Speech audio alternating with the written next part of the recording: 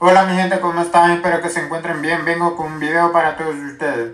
Berta de León no se conforma con atacar al presidente Nayib Bukele y ahora va por la cabeza de Walter Araujo. Y no solo eso, soborna a la señorita Mónica Romero con una fuerte cantidad de dinero. Veamos lo que dice.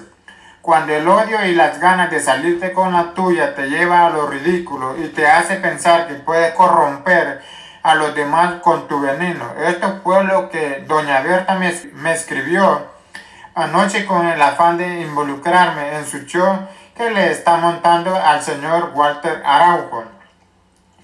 Lo que es capaz esta señora de hacer por hundir y desprestigiar a quien sea. Bueno, pues vamos a leer los mensajes para que ustedes lo vean. Hola Mónica, ¿qué tal? Bueno, he visto cómo usted también me ha hecho memes y unas que otras bromas de ataque a mi persona. Pero no vengo a reclamarle, al contrario, vengo a proponerle algo le parece. Hola doña Berta, pues ¿qué le puedo decir si usted misma se ha creado esta imagen de negatividad y desprestigio ante el pueblo? A ver, dígame, despreocúpate de eso, de mi imagen y mi prestigio.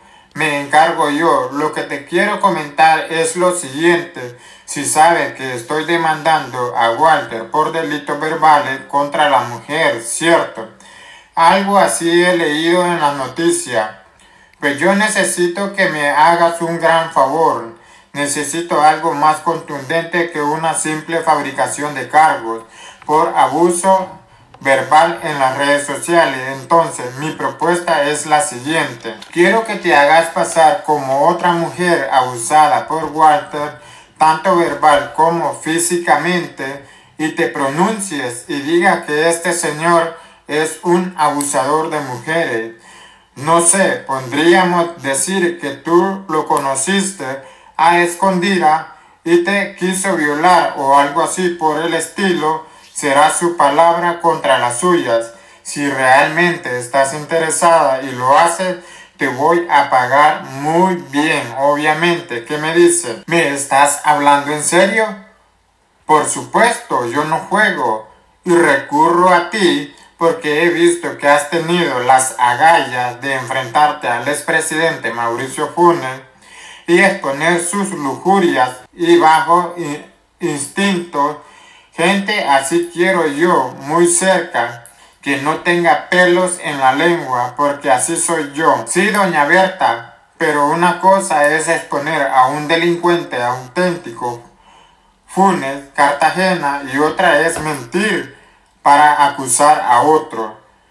Yo lo siento mucho, pero por dinero no me voy a manchar las manos, y mucho menos mentir para acusar injustamente. Yo pensé que usted era solo envidia que le tenían allí, pero veo que su odio y rencor ve más allá.